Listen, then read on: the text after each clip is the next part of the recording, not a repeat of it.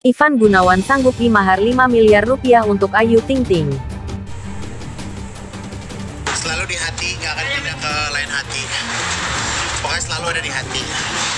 Mau jodoh mau atau enggak itu lihat aja nanti. Tapi yang jelas selalu di hati. Sayanya nggak siap kali ya bukan teh ayunya yang belum siap. Awas. Gitu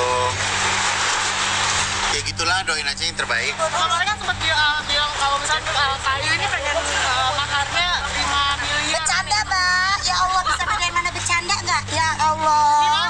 Kalau saya sih nggak usah gitu kalau misalnya emang jadi dia ngeliat aja rekening saya ada berapa gitu paling ada 5000 ribu Sebelum lanjut ke video ini jangan lupa subscribe dan aktifin loncengnya.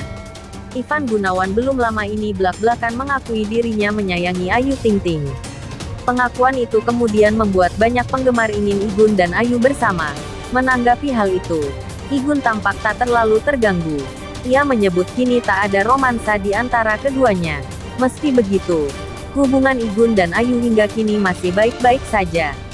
Kita berdua baik-baik aja. Kita enjoy menjalani kehidupan ini. Jelas Igun ditemui di studio Trans TV.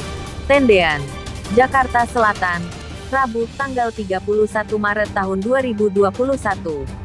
Ayu Ting Ting yang ditemui di kesempatan yang sama menyebutkan bahwa dirinya tak lagi memiliki rasa mendalam pada Igun. Ia justru menyebut desainer itu yang gagal move on darinya. Itu tidak benar. Ada juga dia yang dari dulu nggak bisa move on.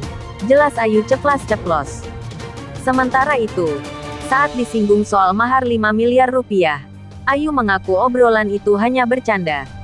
Tapi, jika pun benar, Igun sepertinya menyanggupi permintaan itu.